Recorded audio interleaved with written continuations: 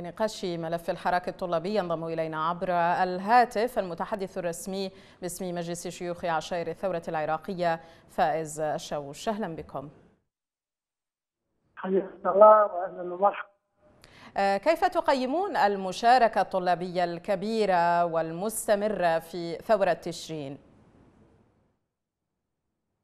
يعني بكل تأكيد عندما يشاهد الشعب العراقي والعالم بأن العراق كان متقدم بالدرجة الأولى في العالم في العلم والتعليم وبالتدريس. حتى إنشاء المدارس ومراعاة الطلاب وكانت في الأربعينات والثلاثينات منذ يعني قبل عدة عقود حتى مواد غذائية مواد إفطار توزع إلى طلبة المدارس الإبتدائية. وبالتالي عندما يصل تصل مستوى التعليم في العراق. والاهمال المتعمد من قبل حكومة 2003 هناك يشاهد العالم بأن الطلبة الابتدائية يجلسون في الأرض والأرض في بعض الأحيان مدارس من الطين غير مبلطة وبالتالي هذا الإهمال يعني يدعم الإصرار عند الطلبة وأبناء الشعب العراقي على الإصرار. وهذه الثورة حتى إزالة هذه الأحزاب والكتل التي تاتي الا عن طريق منافعها وإملاء جيوبها على حساب أبناء العراق وعلى حساب الطلبة وعلى حساب الكليات والجامعات وبالتالي نهضت هذه الطبقة المثقفة من الطلاب والطالبات من الجامعات والكليات نعم.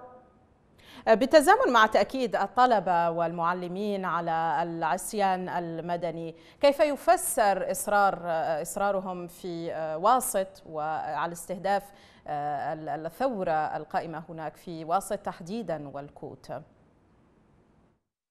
عندما تكون هذه الحكومة وهذه الحساب تكون دائما بأننا جئنا ونحن نمثل أبناء الشعب العراقي أنا أعتقد وكل عاقل يعتقد إذا كانوا هم يمثلون أبناء الشعب العراقي عليهم أن يحترموا إرادة الشعب العراقي.